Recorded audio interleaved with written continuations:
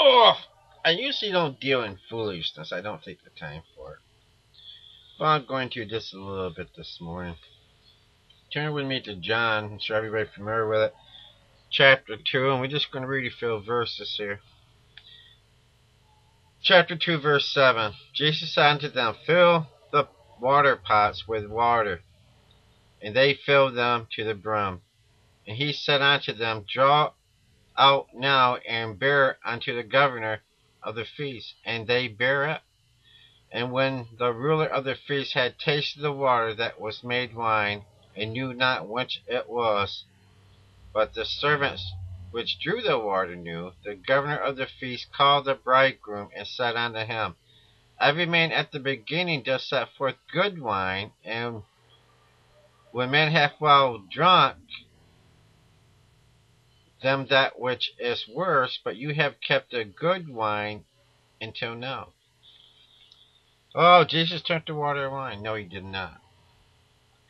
If you look the word good up, you realize there's 17, I believe, different variations in how that word is used?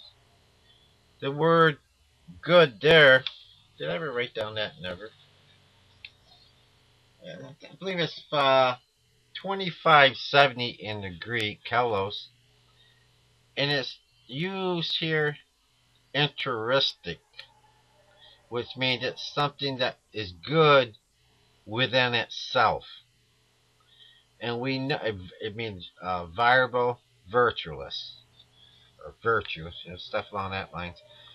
If you know for anything to be of alcohol beverage, it has to have rot and it has to have decay in it.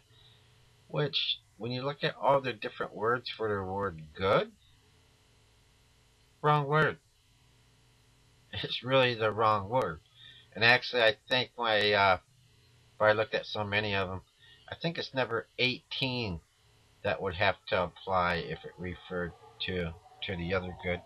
But check it out. There's 17 variations of how that word good is used. And people are just misusing it here. And saying Jesus turned water to wine. It was simply grape juice, something that was virtuous, something that was good within itself, which we know that any alcohol beverage has to have a rot or decay in it to be of a strong strong drink. So no, Jesus did not drink wine. You don't have to take my word for it, but apply yourself to the Word of God and study that Word. Good. You can see it for yourself.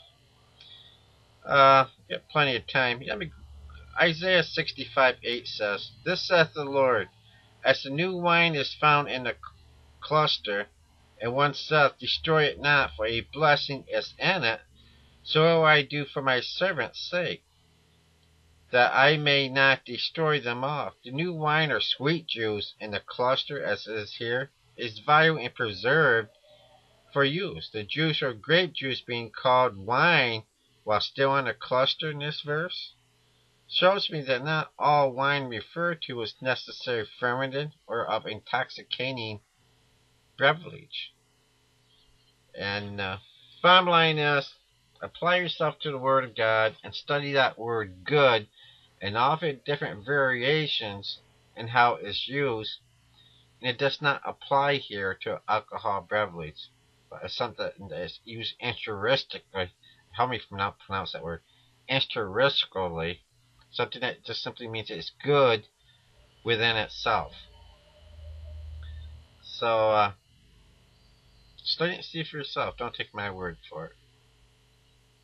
Thank you for your time.